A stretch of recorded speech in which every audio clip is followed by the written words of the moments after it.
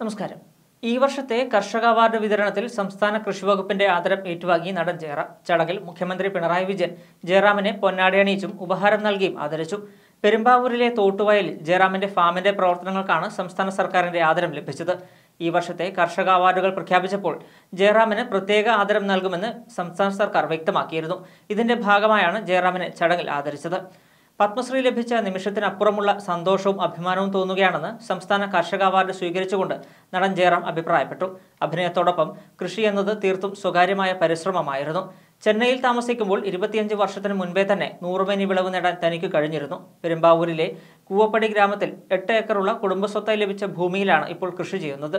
പ്രളയത്തിൽ തന്റെ ഫാം മൊത്തമായി നശിച്ചിരുന്നു. കണ്ണീരോടെ അത് കാണേണ്ടി വന്ന അവസ്ഥ പറഞ്ഞറിയിക്കാൻ കഴിയുന്നതല്ല.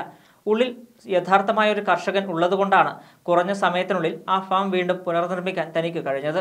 ഇവിടെ എത്തിച്ചേർന്നിരിക്കുന്ന കർഷകർക്ക് മുന്നിൽ തന്റെ സംഭാവന വളരെ ചെറുതാണെന്ന് തിരിച്ചറിയുന്നുണ്ട്. എന്നാൽ ഈ അംഗീകാരം കൂടുതൽ പേർക്ക് കൃഷിയിലേക്ക് എത്തുന്നതിനുള്ള പ്രചോദനം ആകുന്നുവെങ്കിൽ അതായിരിക്കും ഏറ്റവും കൂടുതൽ ചാരിതാർത്ഥ്യം നൽകുന്നതെന്നും ജയറാം പറഞ്ഞു.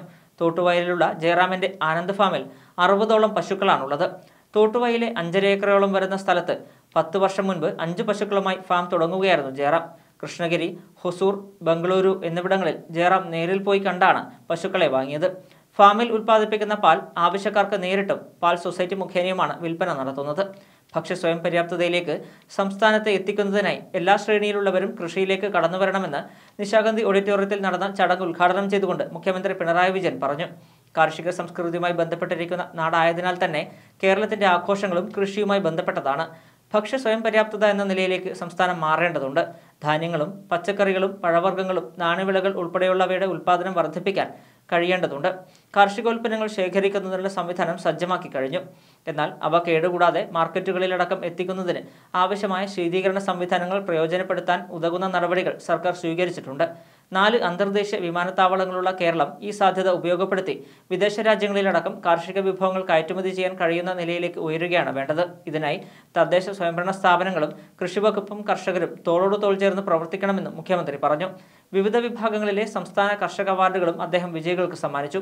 കൃഷിമന്ത്രി പി പ്രസാദ് അധ്യക്ഷനായ ചടങ്ങിൽ മന്ത്രിമാരായ V Sivankutty G R Anil Antony Raju തുടങ്ങിയവർ സംബന്ധിച്ചു.